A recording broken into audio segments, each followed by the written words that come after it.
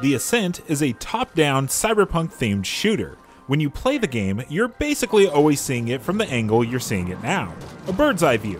However, using a nifty tool called Universal Unreal Engine 4 Unlocker, you can switch to a first person free cam and fly around the game to your heart's content. The ascent was already gorgeous, but being able to see some of these tiny details up close is pretty staggering, since a lot of the fine touches possibly wouldn't be seen otherwise, like reflections from a TV screen lighting up tiny dishes. I'll leave a link to the original video in the description below.